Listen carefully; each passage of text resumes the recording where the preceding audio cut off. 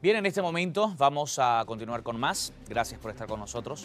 Quiero contarle, comentarle algo que si usted es padre seguramente ya sabe. Hoy comienzan las inscripciones escolares.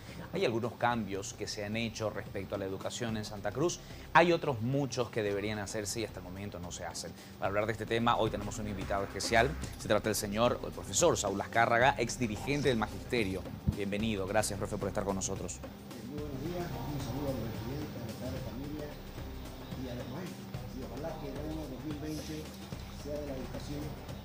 Tendremos que volver a las calles y volver a. Bien, bueno, queremos darle en este momento la bienvenida, no, no escuchamos eh, el inicio, pero le pongo en contexto, a usted que nos está viendo ahora, las inscripciones hoy comienzan en Santa Cruz y en la mayoría del resto del país.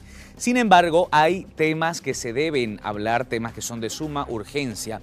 Y para hablar de este tema, como le decía, estamos con el profesor Saúl Azcárraga, que es ex dirigente del Magisterio. Buenos días, ahora sí. Eh, muy buenos días, gracias por la invitación. Un saludo a los colegas maestros, a los padres de familia y a nuestros queridos estudiantes.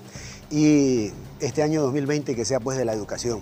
Y si no lo es así, vamos a tener que los maestros, unidos a los padres de familia, volver a las calles porque la educación es un derecho fundamental y ya no podemos seguir postergando a los niños y adolescentes. Profe, ¿cómo arranca el sector educación este año, 2020? Eh, preocupado, preocupado porque los cambios después de 14 años con el gobierno del MAS se postergaron y no vemos señales ni siquiera indicadores para por lo menos sentar las bases y mejorar la calidad educativa. Eso implica de que miren los más de 2.000 ítems que faltan para Santa Cruz, no hay programa de gobierno, no hay programa administrativo, por lo menos para intentar hacer como se está haciendo con salud. Hemos escuchado en el caso de salud que va a haber una reingeniería y se habla de crear bastante ítem para salud y queremos, nosotros felicitamos a salud y queremos seguir esos mismos pasos eh, desde la educación en beneficio de la gente, de los más humildes y de los barrios y esperemos que avancemos en esa deuda social de tener los ítems para que los papás no sigan pagando de su bolsillo. Esperemos nosotros tener el bachillerato técnico que ha sido postergado desde el año 2009-2010 para que los estudiantes salgan con una carrera técnica media en el momento que tramiten su diploma de bachiller. Nosotros soñamos con que la formación vocacional para los niños de inicial y de primaria se haga realidad con equipamiento, con infraestructura y eso es lo que el gobierno del MAS ha privado y este gobierno no hemos visto todavía señales que nos digan vamos a caminar por ahí porque eso está escrito en la Constitución. Profe, ahora vamos a profundizar en este tema. Quisiera que hablemos de algo que de alguna forma es positivo. En primera instancia, se trata de la incorporación del plan de lucha contra la violencia. ¿De qué se trata? Mire, ese es un cambio administrativo y, y es positivo. Resulta de que la educación ahora tiene un enfoque productivo. Ese enfoque productivo en qué se manifiesta? Se manifiesta de que hoy se enseña matemática, física, química, se enseña a leer y a escribir, pero en base a un problema social. En el pasado era un problema que se definía en la unidad educativa, en el distrito educativo. Hoy se va a definir en un problema nacional que es la lucha contra la violencia y especialmente contra la violencia eh, de las mujeres. Entonces, eso es positivo y, esperemos que este año ese proyecto de lucha contra la violencia que se tiene que trabajar desde toda la institucionalidad educativa tenga un presupuesto económico, tenga un apoyo institucional eh, de los municipios, del gobierno departamental y sobre todo del gobierno nacional que es el que tiene mayor responsabilidad en la gestión administrativa y no se lo deje como las anteriores gestiones al bolsillo de los padres de familia, al bolsillo de los maestros y a un montón de improvisaciones bajo el criterio de que eh, no hay recursos para invertir en educación. Entonces, este cambio es positivo. Y para que sea y se concrete de manera eh, contundente en la unidad educativa necesitamos apoyo institucional de todo el Estado, de los tres niveles de gobierno y necesitamos recursos económicos para hacer una verdadera lucha pedagógica, socioeducativa en bien de disminuir la violencia, porque el escenario de, los violentos, el escenario de incumplir la norma es un problema educativo y cultural y se tiene que asumir como hoy se lo está intentando hacer. Y eso es positivo y valoramos y felicitamos la iniciativa del gobierno porque nosotros estamos dispuestos de aportar a la solución de los problemas sociales y los problemas educativos. Otro de los acuerdos que se han hecho recientemente ha sido, entre el gobierno y los maestros, ha sido el de 30 alumnos como tope por aula. ¿Usted cree que esto se va a cumplir? Mire, la iniciativa, el acuerdo me parece positivo.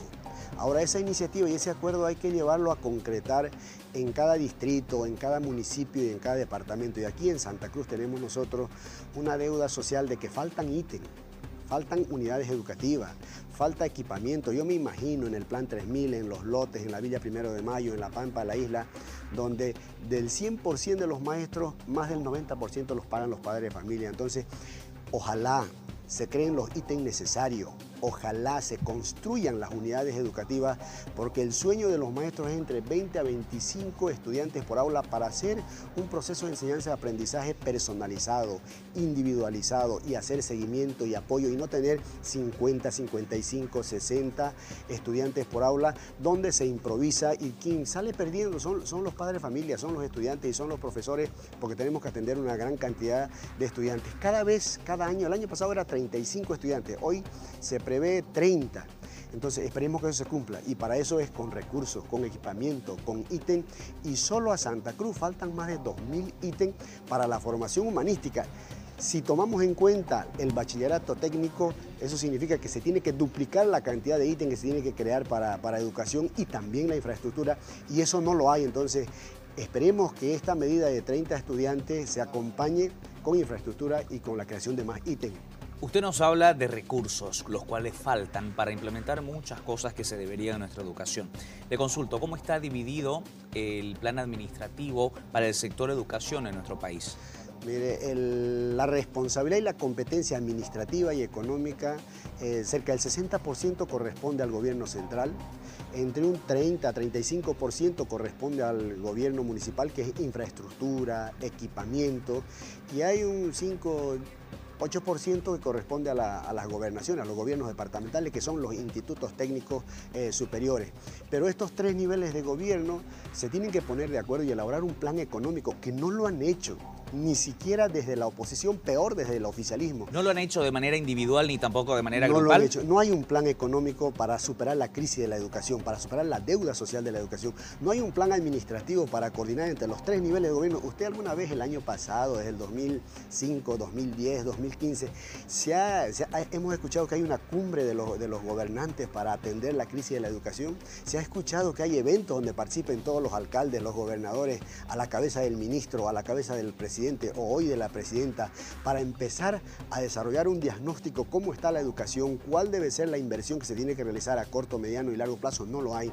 Hoy que hemos tenido hasta ahora y, estamos preocupados que este cambio no llegue a la educación, hemos tenido improvisación, hemos tenido de que los dirigentes sindicales quieren hacer movilización por movilización. La última movilización que se hizo pidiendo ítem, calidad educativa, bachillerato técnico, formación vocacional, con gran cantidad de movilización de padres de familia, se firmó un acuerdo con la Brigada Parlamentaria de Santa Cruz para empezar a elaborar este plan y no se cumplió. Bien, han tenido, para ir finalizando, ¿han tenido acercamiento con la actual ministra de Salud, perdón, de Educación? Hay reuniones, estos avances de la cantidad de estudiantes, de pasar de, cuatro bimestres a tres bimestres son los primeros acercamientos. Ahora, la, la agenda de fondo, lo que hace a la crisis de la educación, se lo va a empezar a tratar a partir de esta fecha y esperemos que haya esa voluntad. Hemos estado preocupados con que se nombre a una ministra que es una abogada, que no tiene experiencia en el área educativa, pero esperemos que haya voluntad política para escuchar a los actores educativos a nivel nacional y para empezar a elaborar este plan económico, este plan administrativo y este plan pedagógico científico que permita por lo menos sentar las bases en este, en este periodo de transición del gobierno de lo que queremos hacer con la educación y no nos los charlen y no se queden en discursos y escrito en norma y pasen otros 10, 15 años y la educación siga abandonada. En este país, lamentablemente, la educación no es prioridad, ni económica, ni administrativa, ni política. Y es por eso que los maestros, los padres de familia, tenemos que tomar las calles, no hay otro, no hay otro lenguaje para que nos vean, para que nos escuchen y de una vez por todas empecemos a resolver la deuda histórica de la crisis de la educación que implica más ítem, implica más equipamiento, implica mejorar la capacitación técnica científica de los profesores y así desplegar un plan de mejorar la cuestión educativa y cultural. Profe, para despedirnos, para el padre de familia que todavía no se ha enterado, ¿cuándo comienzan las clases, las inscripciones? Miren, a los padres de familia, hoy empezamos las inscripciones, durante estas, toda esta semana se van a inscribir los estudiantes. Eh, hay que tener en cuenta para los estudiantes nuevos, son los que están entrando a, inicial, están entrando a primero de primaria, primero de secundaria, de que estos tres primeros días tienen que hacer las inscripciones, tienen que llevar su carnet de identidad o certificado de nacimiento o firmar un compromiso porque hay ciertas zonas, en el caso de la ciudad de Santa Cruz, que hay bastante demanda y ahí vamos a tener eh, dificultades en el periodo de inscripción. Entonces, toda esta semana, de manera consciente, tratemos de inscribir a nuestros hijos en el barrio, en la zona donde vivimos, si es que no hubiera espacio como es lo que sucede acá en Santa Cruz, en el siguiente barrio, en el siguiente distrito y el 3 de febrero empezamos las clases, desde el primer día hay que darle con todo y aprovechar los 200 días de clases para que al final en noviembre terminemos festejando y felices de que se ha cumplido con los objetivos. El carnet de vacunación también es importante, ¿verdad? Es importante, me olvidaba eso, el tema del carnet de vacunación, la libreta de vacunación, si no lo tuvieran hay que también hacer un compromiso y inmediatamente cumplir con ese requisito no es un requisito burocrático para los padres de familia, sino que es un requisito esencial que ellos lo van a necesitar y además por seguridad de salud, por seguridad de la documentación, de tener un carnet de identidad vigente, necesitamos para los estudiantes, para que tengan su RUDE, su registro respectivo y no haya ningún tipo de dificultades. ¿no? Y desearle éxito. Y ese éxito es con lucha, con trabajo, con compromiso.